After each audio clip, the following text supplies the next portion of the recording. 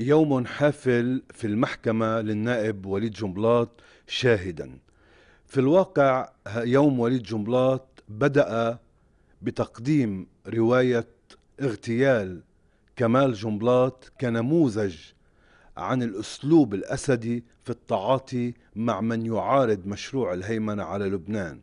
وانتهى برؤية وليد لكمال جنبلاط في رفيق الحريري وهو عائدا من دمشق تحت تهديد بشار الأسد إن لم يمدد لأمين لحود وليد جنبلاط روى الرواية كما قالها له الرئيس رفيق الحريري بعد اجتماع التمديد مع بشار الأسد. المهم جنائيا في رواية وليد أنها أثبتت كل ما قاله شهود الادعاء العام في مرحلة الدافع السياسي حول التهديد المباشر بقتل رفيق الحريري من قبل بشار الأسد. وليد جملات قدم للمحكمة صورة عامة ومقربة لبشار الأسد.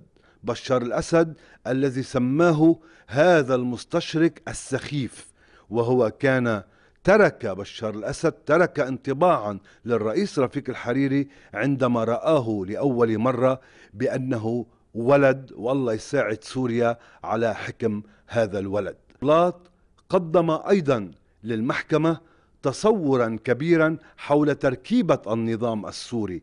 أبرز ما قاله في هذا الإطار أن البعد المذهبي عند النظام السوري مع بشار الأسد كان له تأثير كبير للغاية.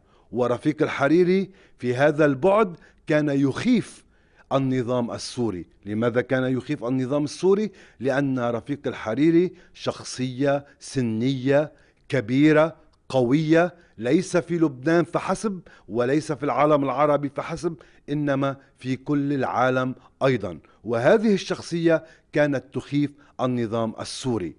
ما قدمه وليد جملاط عمليا هو قدم تصورا أوضح للغرفة في وقت في وقت أن آه، أوضح للغرفة أن رفيق الحريري استجلب العداء السوري بسبب قامته وبسبب سلوكيته الهادفة إلى تحرير لبنان.